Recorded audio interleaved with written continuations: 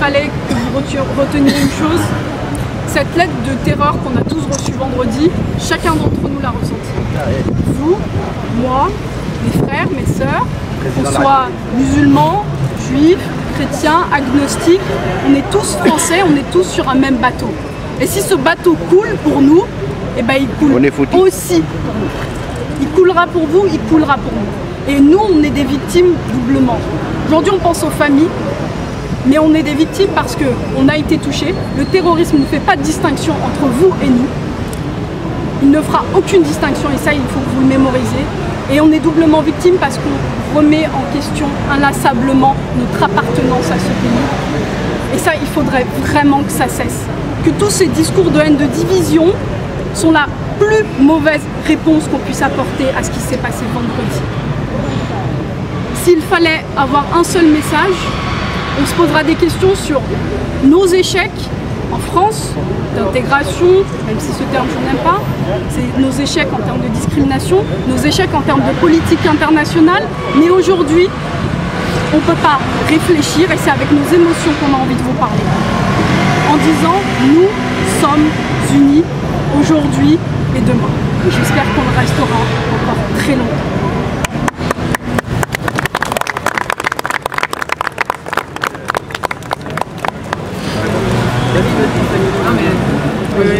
Ça a déjà, ça a déjà, tout a déjà été dit. Euh, effectivement, ce qu'on vient de vivre euh, euh, vendredi est dramatique, c'est terrible. Je pense qu'on est tous encore saisis par la tristesse et l'effroi. Il n'y a pas de mots, c'est injustifiable. Je pense que voilà, on est tous encore sous le coup de, de, l'émotion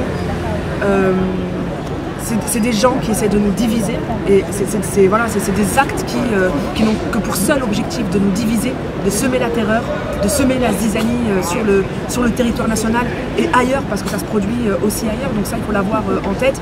Et voilà, je, pense que voilà, le, mot d'ordre là, c'est raison, bienveillance, solidarité pour les jours qui viennent, parce que ça aura des répercussions dramatiques sur ce qui restait, si je puis dire, de notre, vivre ensemble. Il faut que tout le monde soit conscient que c'est l'ensemble de, euh, la France qui a été euh, visé, que euh, tout le monde l'a été de, la même manière, aussi brutalement.